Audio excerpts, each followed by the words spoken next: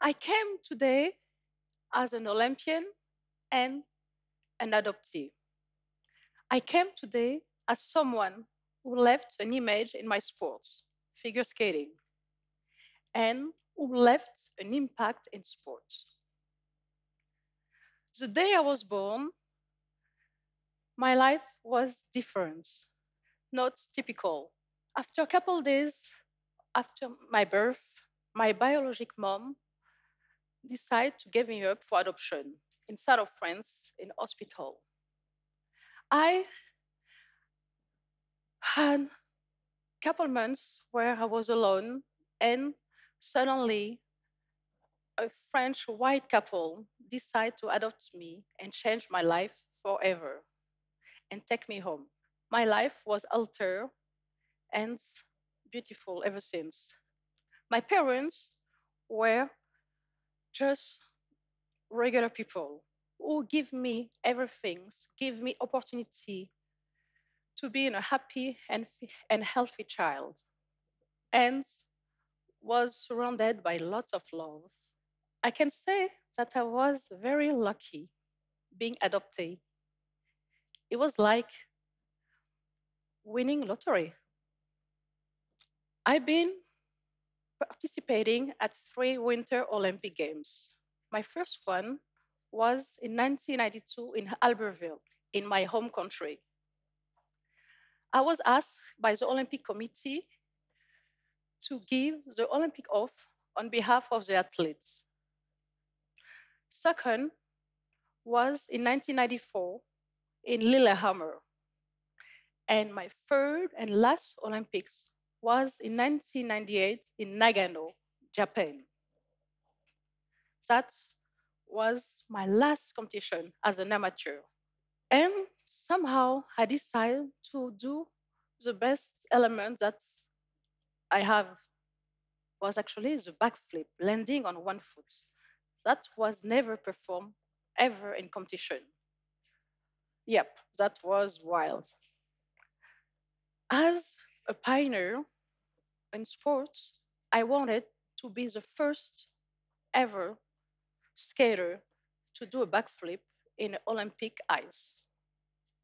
I have the opportunity and chance to have amazing career. I had chance to do a lot of sports when I was young, encouraged by my mother as a sport coach. I was somehow good at everything I tried.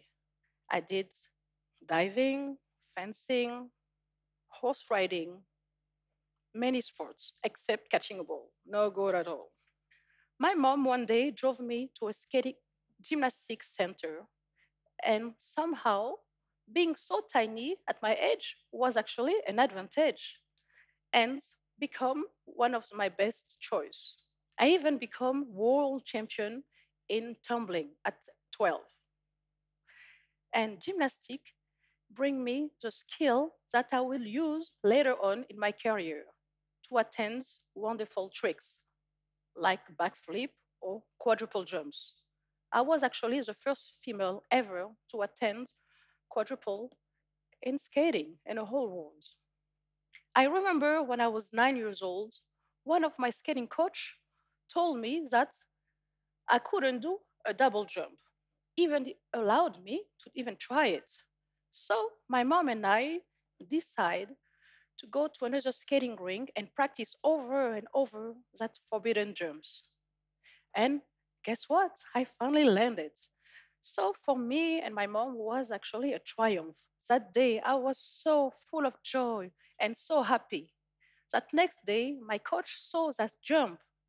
Unfortunately, he was mad at me because I was disobeying him.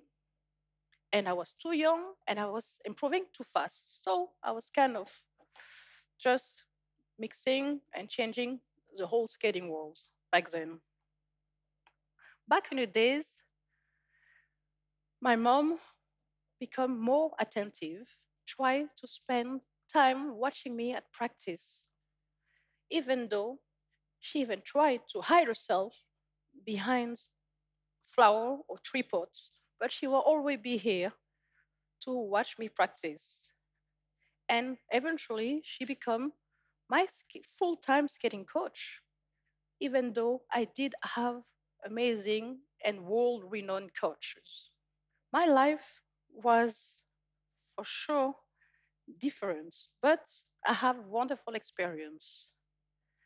I was so exciting to participate to the Olympics and be able to have this experience of being in middle of those countries. Champions, as a champion, we are so lucky to be and participate in Olympic Games, knowing that there is more than 200 countries meeting together and spend two weeks during those Olympics together, living under one roof and following those rules respect, sportsmanship, competition, and peace. And those rules are so important. I think then competing all over the world gave me such experience. I had a chance to travel all over the world, competing, performing. I even had the experience and the chance to go to North Korea three times. Yeah, like you can imagine, North Korea looks sometimes strange, but I did perform there and I had the chance to perform and to be respected like any other places that I would perform. North Korean people were a little bit reserved, but somehow they were so respectful to us, to my teammates, and whether I was black, I came as a French with American address, somehow they liked me and respect, respect me like all my other peers. I think sports have the capacity to break barriers, and that's wonderful. Often, sports works better than governments. Sports have the uh, capacity to bring people united with happiness, love all over the world. And I'm so lucky to be an athlete, have the chance to perform in front of everyone. I would say that I was lucky to have parents who helped me, parents who give me a good education. They continually give me the sense of keeping my skills, try to speak up, to be a better person, to speak up. And as an athlete, it's important to be able to show what you want to do, to show to the world that you have power. And I can say that I'm very thankful to my parents to give me that strength and that courage. You probably wonder how did I come that far? You probably think that it came easy. No, every day I practice, every day, every years, for seven, ten hours a day. But somehow the strength, the love, and the power of my sport make me become who I am today. And just I'm just blessed to be here in front of you today as an ambassador for peace. And I'm here and I hope then my skating life impacts a lot of people who did watch me and will probably inspire many lives in the future. Thank you.